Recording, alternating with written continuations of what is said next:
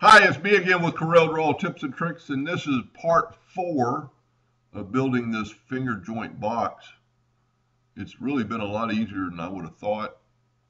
So we've made the four sides and we've made the top and basically at the bottom too. So you've saved a step there. So you just take your, and I would su suggest starting with this one here. And if you have snap to object, you've got that right there done. Now I would make a duplicate of that top, control D, because you're going to maybe mess it up. So we need, and you're really maybe not, we need to take the virtual segment delete key and delete that right there.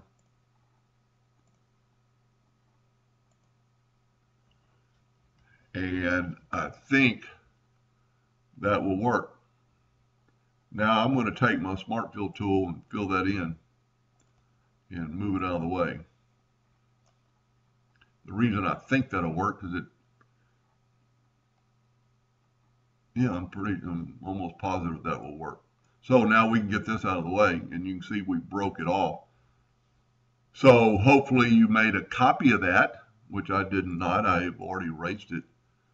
So that's one thing I always suggest is to make copies. This piece is exactly the same, so we'll make a duplicate of it right now. And just for safety, we'll make another one and just put it over there. So we have this one that is the um, top is right here and it was elongated because we were working with this this edge and just kind of prove that that's what we were working with and I'm going to see if this works. I'm not 100% sure this is going to work. But we need to snap to that. And now we need to mirror that and it worked. Because this is what we need. It, you couldn't it, you could have snapped to this but this is a lot easier. I don't know if you realize what I just did.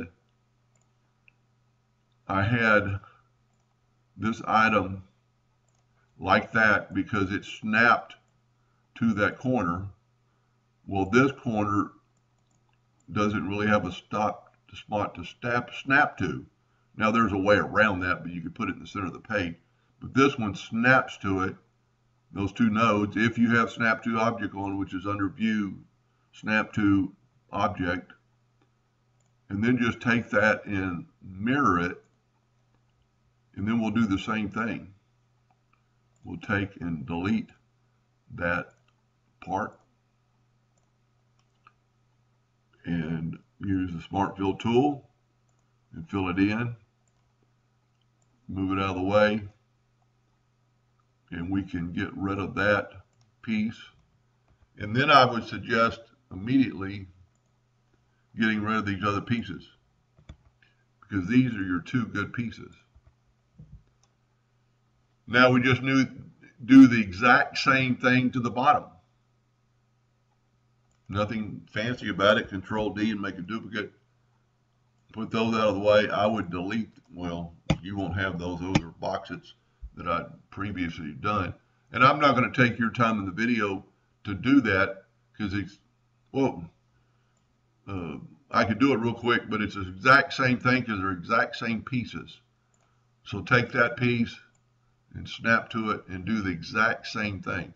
Now just keep in mind that you need a top and a bottom and then the four pieces.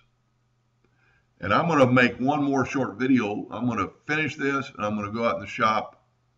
And first of all, I'm going to make sure it works perfectly and tell you a little bit about it and maybe how to glue it together. Anyway, I hope that helped a little bit and thank you for watching.